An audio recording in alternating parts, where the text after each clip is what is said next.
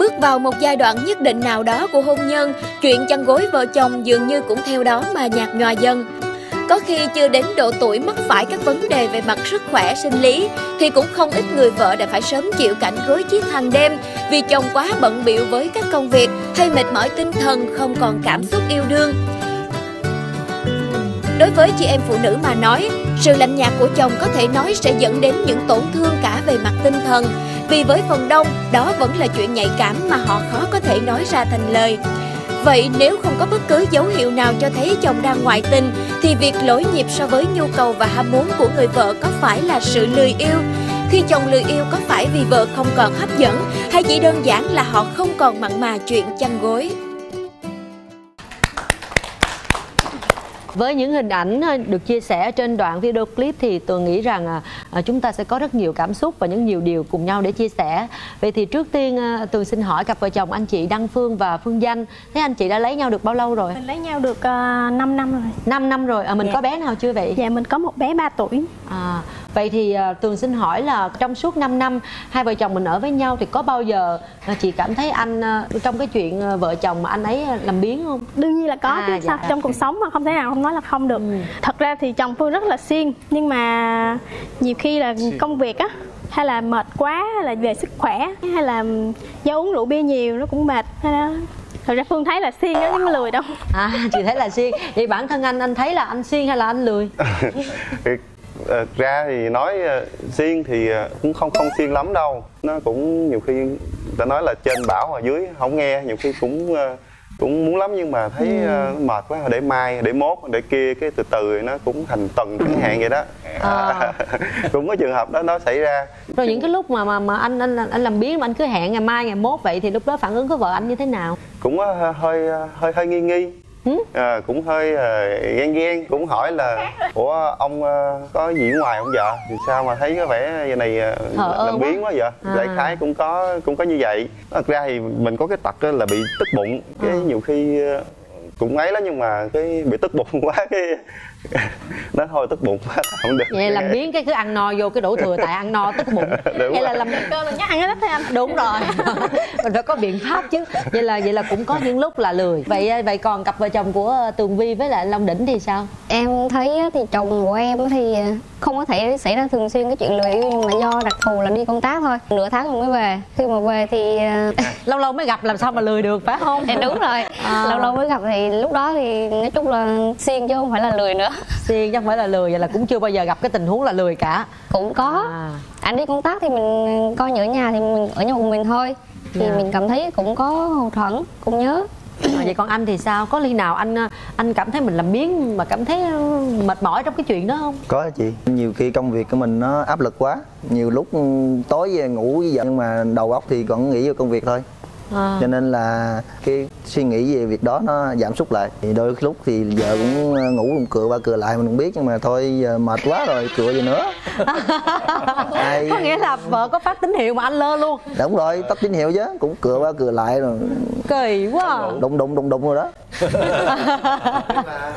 Nhưng mà mình ờ, lúc đó anh anh tránh né anh làm sao dạ đợt nãy. thì giả đòn ngủ thôi chứ giờ biết sao nữa. Rồi dạ, chị biết cái này biết cái chiêu này rồi nha. Làm sao làm bộ ngủ là không được.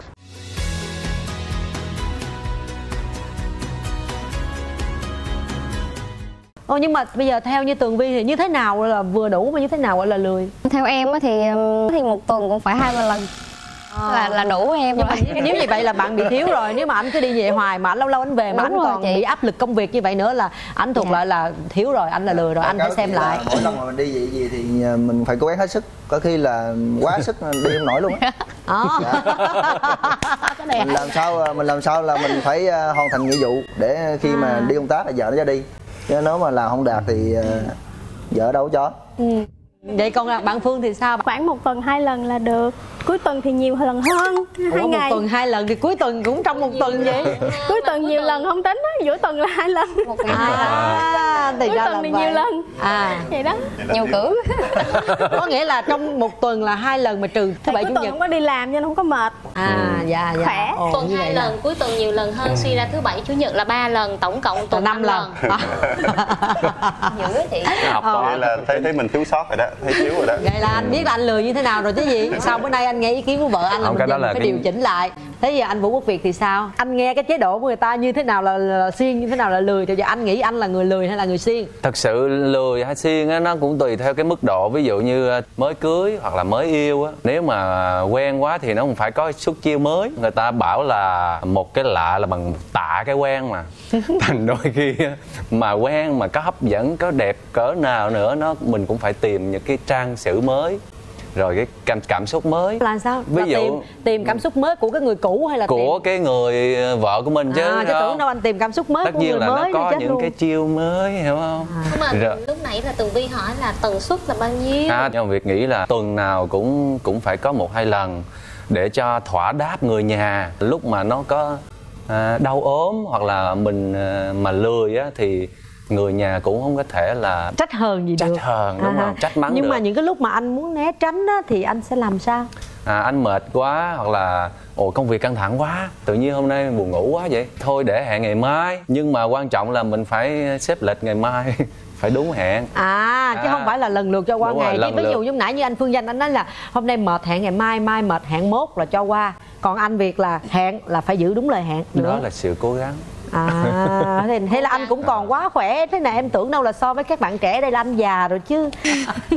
Cái vấn đề anh vừa đưa ra rất là hấp dẫn. Có nghĩa là ảnh làm xuyên ở cái độ tuổi của ảnh nhưng mà vợ ảnh thì lại trẻ hơn nên cái tần suất của vợ ảnh thì lại là nhiều hơn. Thế vậy thì có khi nào với anh phải cố gắng làm cho nó đủ cái số lần. Có cái nào anh như vậy không nếu mà nó không có hứng thú á, thì mình sẽ không cố gắng được. Tại vì ờ, đôi khi ờ, mình bảo nó cũng đâu có nghe. Đó nó phải phụ thuộc vào không gian thời vậy là gian tại nữa. anh già rồi chứ còn để em hỏi bên đây nhiều khi người ta người ta không muốn nhưng mà người ta bảo thì nó vẫn nghe.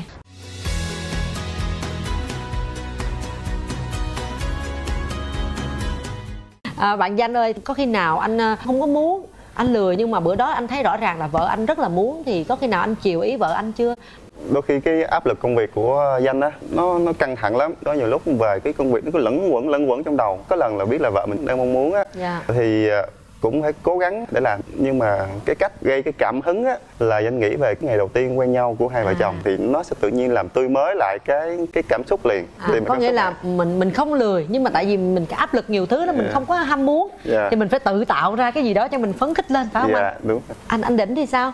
Dạ có những lúc mình không muốn nhưng mà phải làm. Thì ví dụ như ờ, bữa đó lỡ làm gì vợ giận quá đi. À, làm cái chiêu giận nữa. quá bây giờ phải làm sao cho giờ hết giận? Thôi gầy gãi đi dạ mình cũng không muốn nhưng mà khi lâm trận phải chiến đấu hết mình. Đó không có không có chuyện mà làm cho xong.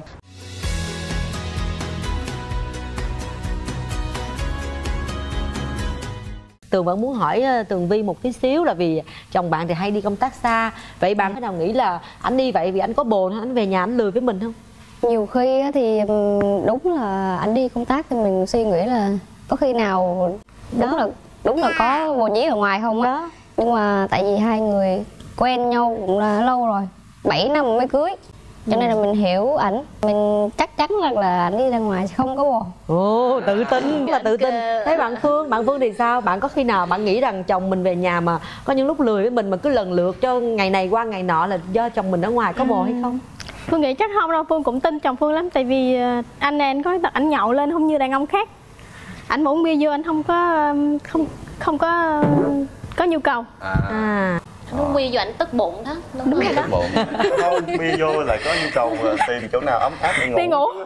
Không vậy đó cho nên là ờ, Phương chắc là không bao giờ với lại ảnh cũng ngại quen rồi nó khó vậy lắm. Người lạ là anh cũng vậy lắm cho nên là ảnh ra ngoài anh không có tôi nghĩ không à bao giờ. cũng có một cái à, chia sẻ của một bạn trẻ như thế này. Ngày trước tôi bước lên xe hoa thì ai nấy cũng đều mừng Vì chắc mẩm là tôi đã lấy được một người chồng ra tấm ra món. Anh vô cùng đẹp trai, cao to lại là con nhà khá giả. Thế nhưng chỉ trong chăn mới biết chăn có rận. Tôi có ngờ đâu anh ấy rất lười yêu. Đã 3 tháng kể từ ngày cưới Số lần anh động vào người tôi đếm trên đầu ngón tay. À như vậy thì trường hợp này là sao ha, ha chị? Thật ra là nguyên nhân lười yêu nó cũng có rất nhiều nguyên nhân khác nhau. Mình à, tạm gọi là nguyên nhân nguyên phát và nguyên nhân thứ phát. Dạ. Nguyên phát tức là ờ, do cái thể trạng của họ có nhiều. Chàng trai á, là cái cái cái tần suất của họ, cái khả năng của họ là không đạt được đến cái cái chuẩn đó. Nói một cách dễ hiểu, mình nhìn thấy ở trên lon sữa người ta quy định là trẻ bao nhiêu tháng tuổi là uống bao nhiêu mili ờ, lít sữa. Nhưng mà không phải đứa trẻ nào cũng uống đủ như đó. Có những đứa trẻ cái bao tử nó nhỏ, có những đứa trẻ bao tử nó nó to hơn thì thì mình sẽ cho uống cái lượng khác. Thì người đàn ông cũng vậy, có những người, cái khả năng của họ là có giới hạn. Và chúng ta cũng đừng có nhầm tưởng rằng là cứ gọi là uh, người cao to thì nó sẽ tỷ lệ thuận với cái tần suất. Dạ. nên là trong trường hợp này có thể nó là một cái nguyên nhân nguyên phát tức là về thể trạng của anh ấy là anh ấy ảnh không có mặn mà với cái chuyện đó ngay từ đầu chứ không phải là vì cô gái này không hấp dẫn. Nhưng mà một cái nguyên nhân mà chúng ta có thể kể đến rất là nhiều ở đây đó là nguyên nhân thứ phát tức là sau một thời gian sống thì nó mới bắt đầu xuất hiện. Ví dụ như là anh Việt có nói rằng là vì cái độ hấp dẫn nó kém đi thì cô có thể là với người vợ thì khi yêu nhau thì người ta nhìn nhau người ta chỉ cần nắm tay nhau thôi là người ta là lên đỉnh rồi đấy À, nhưng mà ừ, khi mà sống với nhau 5 năm 10 năm thì cái cái độ hấp dẫn độ mới lạ nó Nó nó cũng cũng kém đi.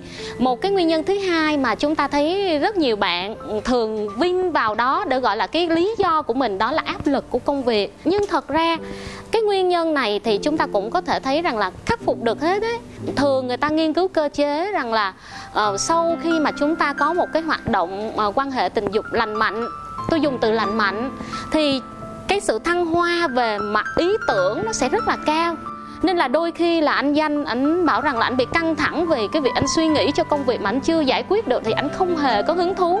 Nhưng anh hãy thử đi biết đâu sau khi anh làm việc ấy xong thì anh lại nghĩ ra được một cái ờ, một cái giải pháp mà mà mình không không ngờ tới được. Tuy nhiên là chúng ta cũng có thể thấy là có nhiều nguyên nhân do cái hoàn cảnh do cái khung cảnh sống nữa. Ví dụ như những người phụ nữ thường người ta tâm sự người ta bảo rằng là dạo này chồng ừm, rất là lười yêu thì tôi có tư vấn một số trường hợp. Thì là do gì ạ? Thứ nhất là con nhỏ. Rồi rất là thương con nên cho con ngủ cùng phòng. Cái gian phòng nó rất là bề bộn luôn. Nó không phải là một khung cảnh yêu bên này là một cái thau tả bên kia là một giỏ sữa chai lọ lĩnh kỉnh. Mùi thì cứ thoang thoảng ammoniac chứ không phải là nước hoa thơm tho. Có nghĩa là À. nếu như cái hoàn cảnh xung quanh mà nó không hấp dẫn thì chúng ta cũng không thể nào mà thăng hoa được. cũng cũng có thể là À. một cái bởi cản vậy người ta trở hay hay hay hay những cái người yêu nhau hoặc là người ta cũng muốn muốn có con thêm á người ta hay dẫn đi du lịch. Tại vì cái đó là một cái khung cảnh mới một cái khung cảnh lãng mạn À. rồi kể cả giường chiếu phòng ốc và mọi thứ khung cảnh nó mới thì người ta cảm thấy hấp dẫn hơn. Nhưng mà lúc nãy thì tường vẫn rất thích một cái sự chia sẻ của anh long đỉnh là như thế này. Có nghĩa là nhiều lúc ảnh đi công tác về ảnh thật sự ảnh là không muốn nhưng mà anh biết là vợ anh có nhu cầu thì ảnh à, phải lâm trận và khi đã không làm thì thôi nhưng làm phải tính lên đến chốn. Chứ không phải là kiểu làm mà qua loa cho nó xong chuyện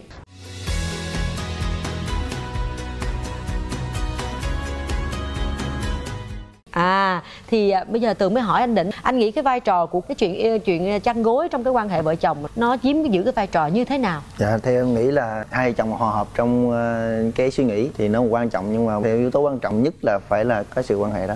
Dạ Tại vì ờ, giống như này em nói là khi mà có một mâu thuẫn xảy ra thì hồi giờ cách giải quyết của em mà nhanh nhất mà hiệu quả nhất là vẫn là chuyện đó. À Dạ, sau khi sau khi làm xong là cả hai là cảm thấy hưng Hết phấn giận. thoải mái là hết giận, đâu bao giờ giận được. nhưng mà nhưng mà có khi nào mà chị đang giận mà anh muốn làm chị không cho?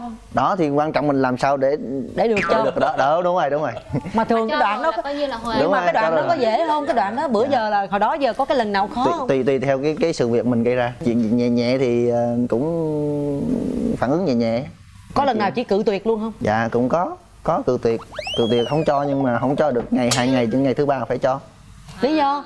Thì mình kiên trì à. Kiên trì gợi gợi gợi lên. Làm sao cho nó hứng lên. Bây giờ nó có cái vấn đề nữa là tại sao mà chồng lười yêu á? Có một cái mà mình phải thành khẩn khai báo với nhau giữa những người đàn ông. Tại vì các bạn đang đi với vợ mà nhiều lúc mình nói cái vấn đề này nó cũng hơi tế nhị. Không anh cứ nói là Ừ, tuyệt không ra. không có nghĩa là đang mình đang nói cái tâm lý chung của Dạ, hai dạ. người đàn ông đang hiện hữu có vợ. Thứ nhất là mình đi công tác và mình đi những cái công việc quan hệ ngoại giao với công ty hay là mọi thứ ờ, cái mối quan hệ bên ngoài thì đường nào mình cũng phải tiếp xúc với cái cô gái. Thì đôi khi á mình lại ao ước. Giá như được cái giống như cái cô hồi bữa mình gặp kia thì cái đó nó cũng tạo cho mình một cái sự lạnh nhạt. Mình cũng mất đi một cảm xúc tại sao là như vậy?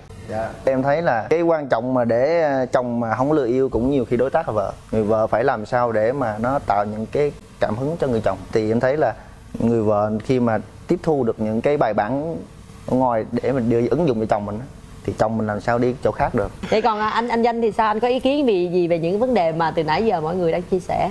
Thật ra thì à, cái vấn đề mà để cho chồng lời yêu á thì à, có hai khía cạnh. Thứ nhất là người phụ nữ không có chăm sóc cái bản thân mình. Như anh có nói là đi ra ngoài thì gặp rất là nhiều cô cô gái bên ngoài, tuổi trẻ, đẹp, tướng, tá, ngon lành, rồi rất là thích. Rồi về nhà nhìn thấy vợ mình thì à, hơi tròn tròn tí, mặc đồ ngủ thì hơi nhăn nhúm một tí. Rồi à, đôi khi con nữa chứ. Có nhiều lần hai vợ chồng đang rất là khí thế luôn, tự nhiên thấy nó tròn mắt, nó nhìn vậy nè. Đó là thực tế luôn nó dòm ba má làm gì vậy? Mắc cười quá cái viên sùi mấy lần vậy luôn á. Thực tế rất là ức chế đuổi lên nội.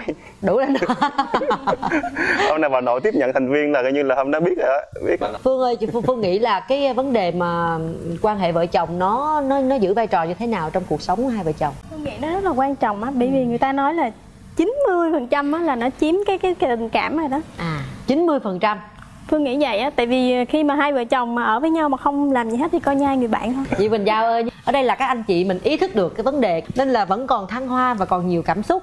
Nhưng mà rủi như đến một lúc mà ví dụ anh Việt chẳng hạn như anh cứ lười yêu mà lười yêu hoài anh hết sức rồi. Như vậy thì nó sẽ ảnh hưởng đến tâm lý của người vợ như thế nào hả chị? Ừ, thật ra thì chúng ta cũng thấy rằng là vấn đề ở đây chúng ta cũng sẽ thấy rằng là có rất nhiều nguyên nhân. Ví dụ như là anh danh anh có chia sẻ nguyên nhân là từ phía người phụ nữ thì chúng ta hoàn toàn có thể có những cái giải pháp cho những cái việc là từ phía người phụ nữ. Chẳng hạn như là tâm lý anh Việt có nói đến một vấn đề rằng là người đàn ông rất thích lạ, nhưng tôi vẫn thấy có những một một số trường hợp các anh chia sẻ rằng là gì? Họ lại rất cần cái quen, đối với cái quen họ không phải thăm dò, họ cảm thấy an toàn, họ cảm thấy là họ tròn cái trách nhiệm nên là phụ nữ của chúng ta cũng không nên quá lo lắng, đổ lỗi nguyên nhân hoàn toàn cho cái việc lười yêu, đó là họ thích cái lạ.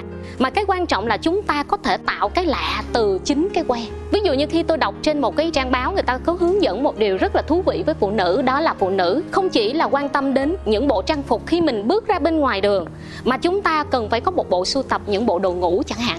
Để làm gì ạ? Để thỏa mãn một cái tiêu chí thích cái lạ như kiểu anh việt đó là gì ngày hôm nay mình được ngủ với một cô áo hồng. ngày mai mình được ngủ với một cô áo tím mộng mơ và ngày mốt mình ngủ với một cô áo đỏ nồng cháy. Nhưng thật ra vẫn là một người người vợ của mình thôi. Thì về mặt nào đó chúng ta dùng tâm lý để chúng ta hóa giải vấn đề này. Vậy thì vấn đề quan hệ tình dục nó có vai trò như thế nào thì tôi khẳng định rằng là nó vô cùng quan trọng trong đời sống vợ chồng. Và nó là một cái nguyên nhân mà người ta ít khi nói ra nhiều khi nam giới rất ngại nói ra.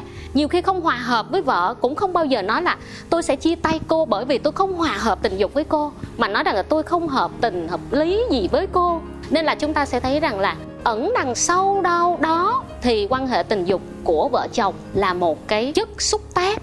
Để kết dính hai vợ chồng lại, khi giận dỗi, người ta có thể kết nối rất là nhanh như anh đỉnh. Và khi mà người ta bắt đầu cảm thấy rằng là lỏng lẻo, người ta cũng dùng quan hệ tình dục để người ta kết nối. Nên tôi cho rằng là trong cuộc sống hiện đại của chúng ta chúng ta cần phải có những giải pháp. Và một trong những cái điều đầu tiên là chúng ta phải đầu tư về sức khỏe.